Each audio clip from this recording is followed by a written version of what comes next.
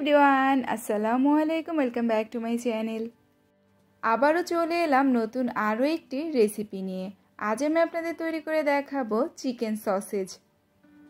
ঘরে কীভাবে খুব সহজেই মজাদার চিকেন সসেজ তৈরি করে নেওয়া যায়, সেই পারফেক্ট রেসিপিটি আজ আমি আপনাদের সাথে শেয়ার করব। বিকেলের নাস্তার জন্য বা বাচ্চাদের টিফিনের জন্য তৈরি করে দিতে পারবেন এই মজাদার চিকেন সসেজ। আশা করছি রেসিপিটি আপনাদের কাছে ভালো লাগবে। এখানে আমি নিয়েছি দেড় কাপ পরিমাণ মুরগির হাড় ছাড়া বুকের মাংস, আর মাংসগুলোকে আমি ব্লেন্ডারে ব্লেন্ড করে নিয়েছি। এখন এতে আমি দিয়ে দিয়েছি দুই টেবিল চামচ পেঁয়াজ বাটা, আরও দিয়ে দিয়েছি দুই টেবিল চামচ লাল ক্যাপসিকাম বাটা। আপনারা এর বদলে পাপরিকা পাউডারও দিতে পারেন। আমি শুধুমাত্র ক্যাপসিকামটা দিচ্ছি কালারের জন্য। আপনাদের হাতের কাছে না থাকলে না দিলেও হবে। দিয়ে দিচ্ছি এক চা চামচ লবণ। দিয়ে দিচ্ছি এক চা চামচ আদা ও রসুন বাটা। হাফ চা চামচ শুকনো মরিচের গুঁড়ো। হাফ চা চামচ গোলমরিচের গুঁড়ো। হাফ চা চামচ গরম মশলার গুঁড়ো। এক চা চামচ ধনিয়ার গুঁড়ো। এক টেবিল চামচ সাদা সিরকা। এক টেবিল চামচ সয়া সস। দিয়ে দিচ্ছি দুই টেবিল চামচ রান্নার তেল। আরও দিয়ে দিব চার টেবিল চামচ কর্নফ্লাওয়ার। আমি প্রথমে দুই টেবিল চামচ কর্নফ্লাওয়ার দিয়ে ভালো মতো মেখে নিয়ে এরপর এতে আরও দুই টেবিল চামচ কর্নফ্লাওয়ার দিয়ে দিব। আবারও ভালো মতো মেখে নিচ্ছি। মেশানো হয়ে গেলে চিকেন সসেজগুলো তৈরি করার জন্য আমি এখানে একটি প্লাস্টিক র্যাপ নিয়ে নিলাম আর এটাকে আমি চার কোনা করে কেটে নিয়েছি। এখন চিকেনের এই মিশ্রণ থেকে কিছুটা মিশ্রণ নিয়ে আমি এভাবে লম্বা করে দিচ্ছি।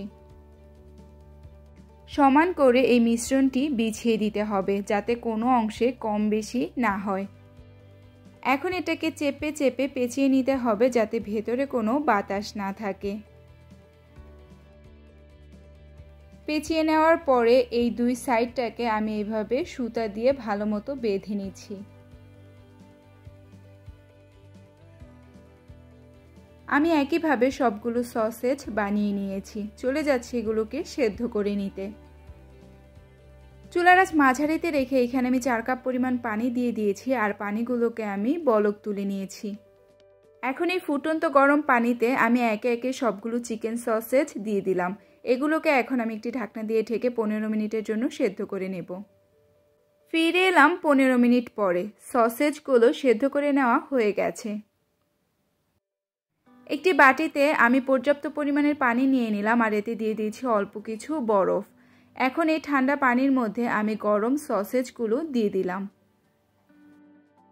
ঠান্ডা পানিতে গরম সসেজগুলো দিয়ে দেওয়ার কারণে সসেজগুলো খুবই সফট হয়ে থাকে।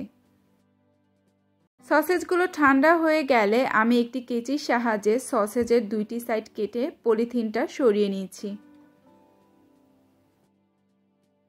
একইভাবে আমি সবগুলোই পলিথিন থেকে খুলে নিচ্ছি। চলে যাচ্ছি সসেজগুলো ভেজে নিতে। চুলার আজ মাঝারিতে রেখে এখানে আমি দিয়ে দিয়েছি হাফ টেবিল চামচ রান্নার তেল। তেলটা গরম হয়ে আসলে এর মধ্যে আমি দিয়ে দিব চিকেন সসেজগুলো। এখন এই সসেজগুলোকে আমি বাদামি করে ভেজে নিচ্ছি। আপনারা চাইলে কিন্তু সসেজগুলোকে ডুবো তেলেও ভেজে নিতে পারেন। সসেজগুলো বাদামি করে ভেজে নেওয়া হয়ে গেলে আমি একটি টিস্যু পেপারে সসেজগুলোকে উঠিয়ে নিচ্ছি।